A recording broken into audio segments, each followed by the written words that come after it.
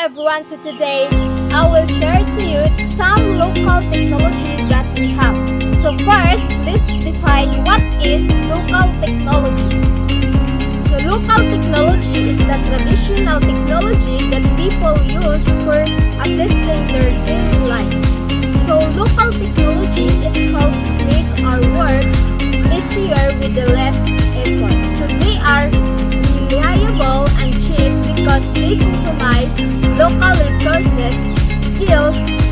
Along with that, they are environmentally friendly too, and it is very durable. So now I will introduce to you the local technologies that we have. Without further ado, let's do this. So first, we have this local technology. It is called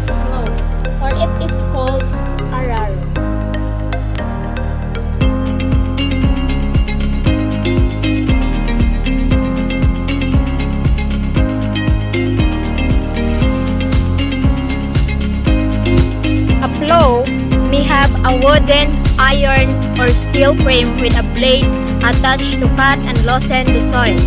It is a farming tool that works with the power of carabao and it helps to dig the soil in the field so that the seed can be planted. It is pulled by carabao and the star at the bottom of the plow makes the furrow across the fields but in the modern farms are drawn by tractors. So the impact of the lives on the people and culture of the place is that it allowed farmers to cultivate the crops more efficiently because the smooth texture of the steel blade would not allow the soil of the Great Plains to stick as the cast iron flow did. So until now, we use and preserve this local technology for the next generation that they can use. So this is what we call flow. It is the local technology. Second, this is what we call lusong or mortar and is is the alho or the basalt.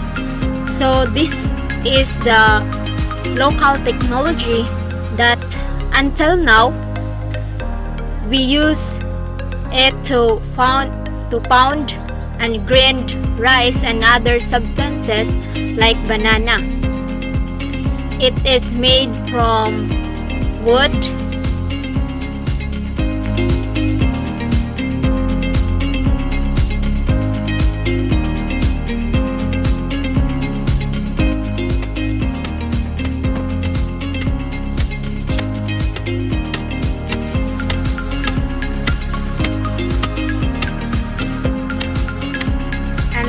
is the thresher.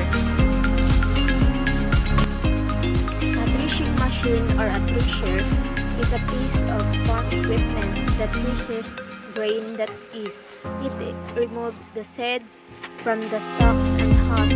It does so by beating the plant to make the seeds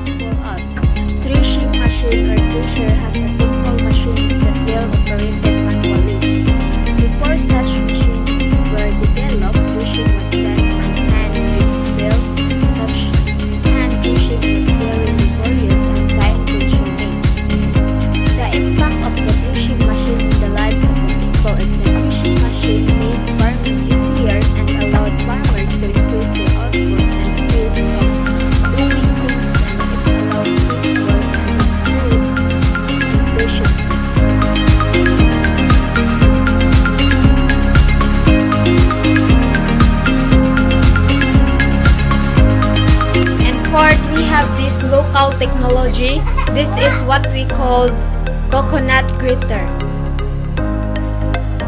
This is a native traditional implement used for scraping the tough coconut flesh of its shell. The blade is attached to the end of a wooden bench on which the person doing the gritting sits. The coconut gritter stove has been around for centuries. It is made out of a wooden arm in serrated blade, which grates the coconut. The resulting grated coconut is mostly used for making the ta or coconut milk. So the impact of this local technology to the lives of the people is that it helps to easier build the coconut milk and cook delicacies with coconut, we can simply use this local technology. And until now, we use it and preserve it. And lastly, we have also this local technology and it is called Nigo or woven basket. Nigo or woven basket is a flat or semi-flat woven basket traditionally used for winnowing or mag-ayag in Cebuano term or separating corn grits still contain lots of holes that feel grainy and rough when cooked or eaten. It is also used for winnowing rice and it is made of bamboo skin strips woven from the centers to frames. So the impact of this local technology in the lives of the people, it helps to quicker in separating rice and corn grits that still lots of holes that feels grainy and rough when cooked or eaten. And also it helps to the people to winnowing the rice after the preserve it.